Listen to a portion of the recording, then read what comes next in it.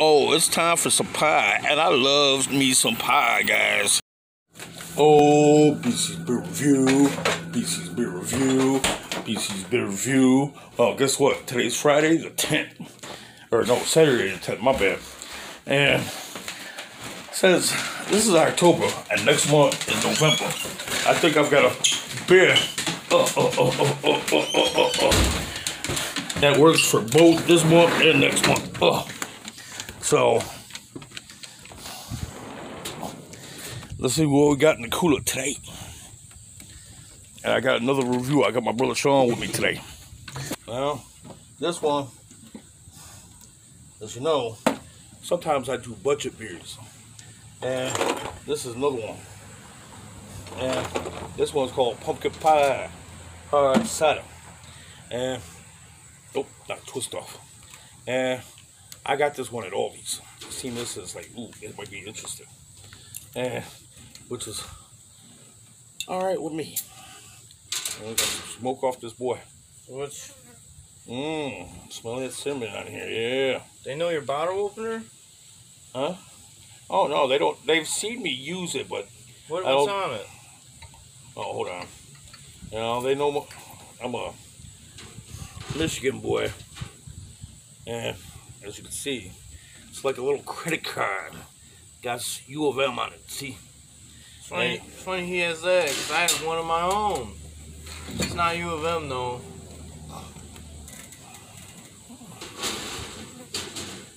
Yeah, yeah. It's Lions. Unfor- Lions. unfortunately. But as you can tell, we're a couple of homeboys. Support the home teams. And they're great, man. They fit right in your wallet. So, Oh yeah. yeah, smelling that cinnamon off of this for sure, man. I think, I hope this ain't the, uh,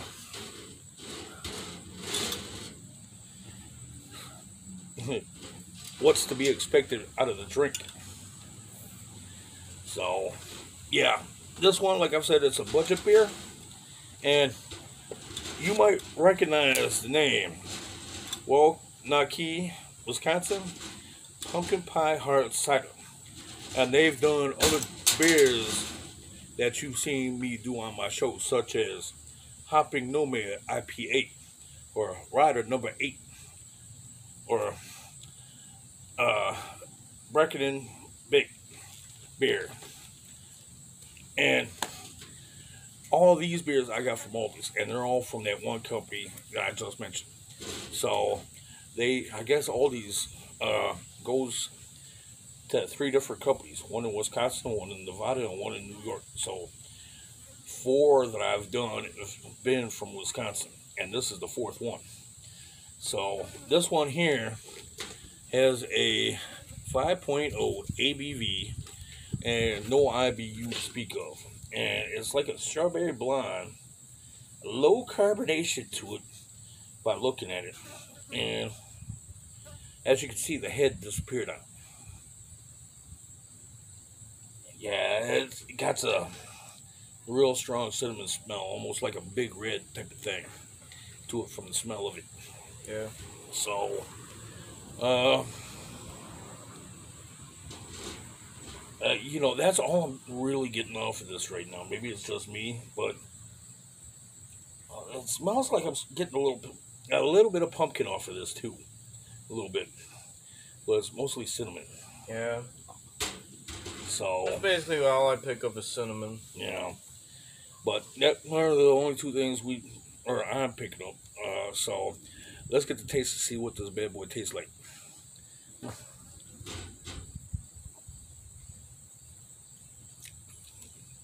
Okay, this is flat.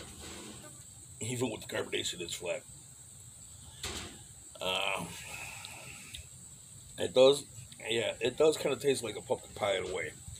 There's pumpkin, cinnamon, and uh, whatever it is that they use to make the crust with. I'm about to say, you know what? Yeah. It also, you know what else it reminds me of taste wise? Hmm. Like banana bread. In in a way, that's what the. But I guess that's crust. because, but yeah, but that I guess it's, I guess if you think about it, it's like I never thought about how similar banana bread and like pumpkin crusts and stuff is. Know. Now I'll admit the pumpkin crust might go with, with the banana bread. Yeah, I kind of see that with the banana bread. You got that cinnamon too. so, but yeah, I'm kind of picking up the pumpkin out of there, the cinnamon, and the, I guess the flour. Well, yeah, I gotta gotta agree with the banana nut bread type of thing. That's the type of vibe I'm getting off this. But I do taste the pumpkin in this thing too. But the one thing that gets me is, is that when I did that Pabst Blue Ribbon hard coffee, you can taste the whipped cream in that coffee. It's like if you go to Starbucks and they put the whipped cream on the top of the iced coffee or whatever. You could have tasted that in the hard coffee with Pabst Blue Ribbon. Now, as the picture shows, it shows whipped cream. That doesn't necessarily mean that's what you're going to get. So, but I was kind of expecting it though because it was on the packaging.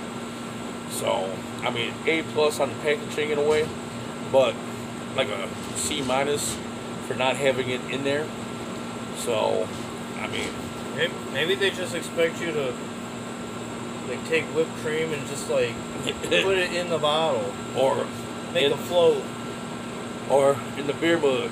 Either yeah, way, yeah, like make it like a pumpkin pie beer float. Yeah, well, I did that in a root beer float in hard Big Brother's hard root beer one. I did. I did a float with uh, Moose Tracks ice cream. That's just how I roll. I like Moose Tracks, but either way, with that one, forget the what I gave it, but I think it was a seven. So it didn't add or take away from the root beer. The only thing that I hated about that root beer was it had too, a little bit too much uh, winter green in it. Yeah. Yeah. But I mean, for the most part, it did taste like root beer. So it's just one of them things. Now I had somebody suggest to me if I had bourbon infused uh, ice cream and put it into the root beer, might have tasted better. Which kind of leads into what you were saying. Now, if I would have done that with this, maybe. But we ain't got none of that on hand. So mm, you're gonna have to try that on your own. So that leaves it up to you. If you do, more power to you. And if it tastes good, let me know in the comments below. Which reminds me, if you like it, subscribe my channel. Hit the icon button or the icon bell for notifications. Get new content when I post it. I guarantee at least one video a week. So, uh, anyways, what are you thought? Your thoughts on this beer here? I think it's okay. Yeah. Um, it's definitely got flavor to it. Yeah. It's like you were you were right because I think you took the first sip and you said like it's kind of it has this flat quality yeah. and it's kind of true.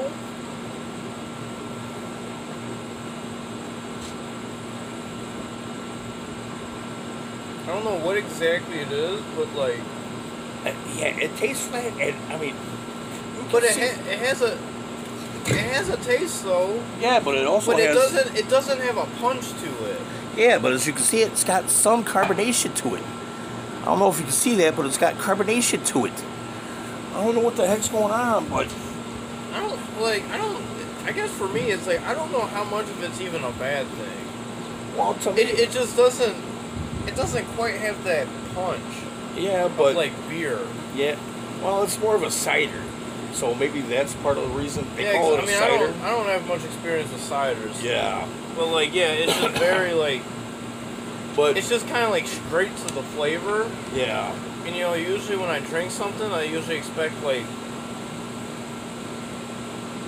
a little either I don't know like carb, yeah, I guess carbonation, see, or like a like a real alcohol thing on the front end yeah, when you take your sip. or at least the case, carbonation at first, and then the taste Yeah, immediately But you, you really get neither of them when you take Yeah. like the the front end of this drink. It's just straight up that pumpkin, the pumpkin pie, just like boom, and it's. I wouldn't say it's great, but it's. I think it's all right. yeah. It, I don't like I. I I don't mind this. I mean, having a bottle or two of this, like say on Thanksgiving, maybe, fine. You know what this kind of reminds me of? I forget what it's called, but it's um. God, it's like it's like this ginger. Oh, don't say ginger beer. Yeah, that ginger beer. But it's like it's like a much more drinkable version of that. Yeah, and it has actual alcohol in this. So this is a what I say a five pointer. There's probably pe- there's people out there who know exactly what we're talking about because there's this ginger beer. I know I've had it. I have had it once. I've literally had it given to me for free. Yeah, it's a 5.0 ABV.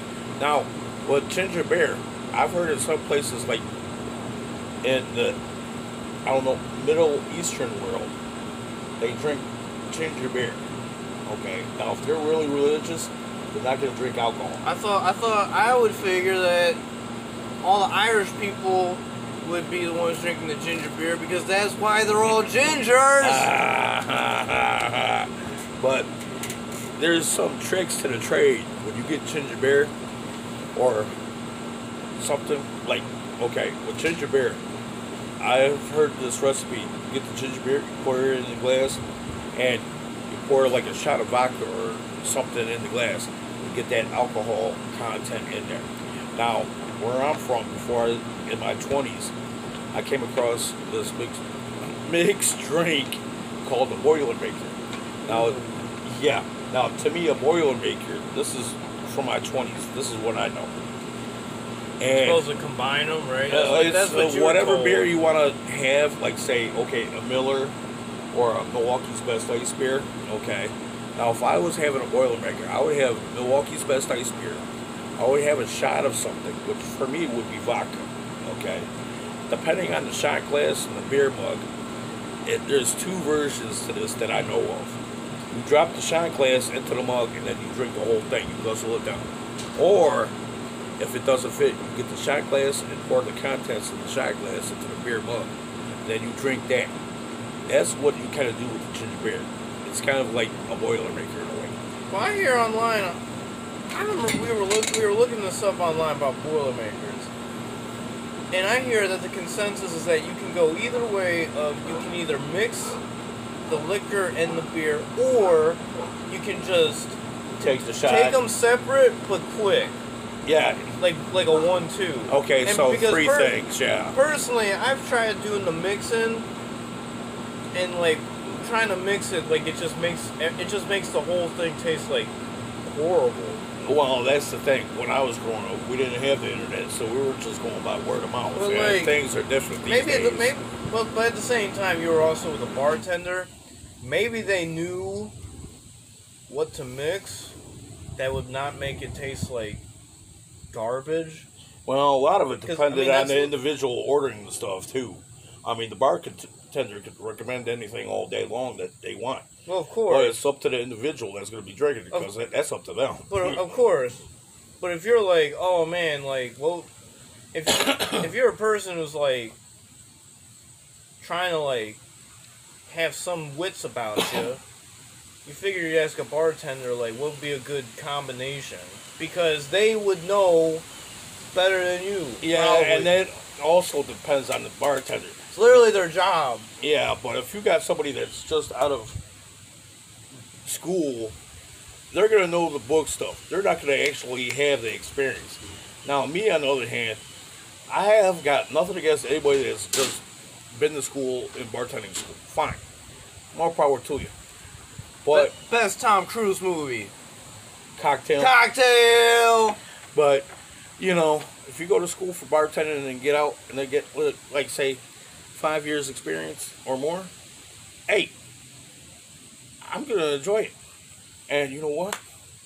Hey, Well, he's gonna have not only textbook knowledge, but he's gonna actually have hands-on knowledge.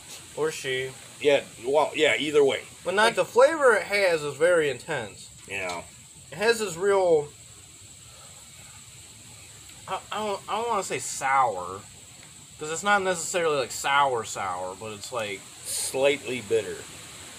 I don't, I don't even know if bitter is the word. It's just it's Sweet tart? sweet. Yeah, it's like very tarty, like sweet, but like very like it's like it's a little too much, but not like completely over the line to where you just don't want to drink it at all. Oh, over the hill. Yeah, like over the and top. That's what the the that's why I'm not against the ginger beer. It's like that.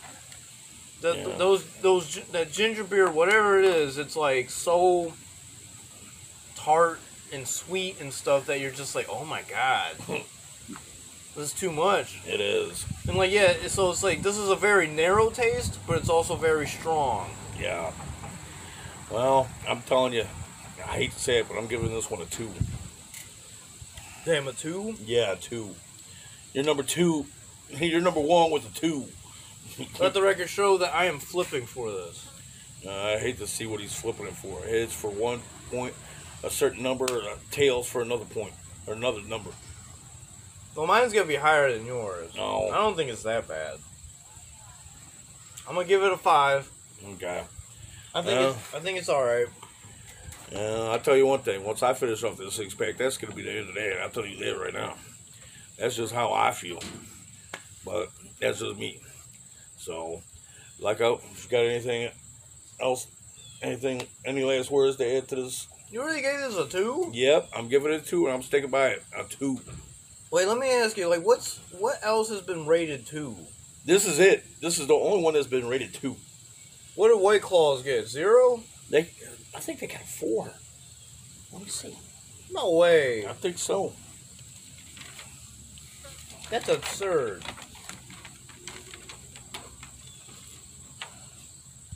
A one. A White Claw got a one. I was gonna say. I was gonna say. I forgot. White Claw was number one at a one. yeah. so at least I'm keeping in line with my own standards. Yeah. I mean, I think this is a lot better than White Claw. Ah, I, I, I, I hate White Claws. I hate White Claws too. Yeah, I had two cans. I drank one. He drank the other one, so he knows what it's about. Well, yeah, because Oh. I just figured, you know, just to get rid of it. Yeah. Cause otherwise, it was just gonna sit there forever, and I'm just like, why not? Yeah. Let's just get it out the way. Yeah. Well, anyways, like I've always said, hey, drink responsibly. Don't do nothing stupid. Peace out, brother man. Peace out, sister girl. I'll see you next time on the next BC's Beer Reviews. Super profundo on the early eve of your day. Don't drink drugs. And now, it's time to watch Shrek again. All right. Peace out, man.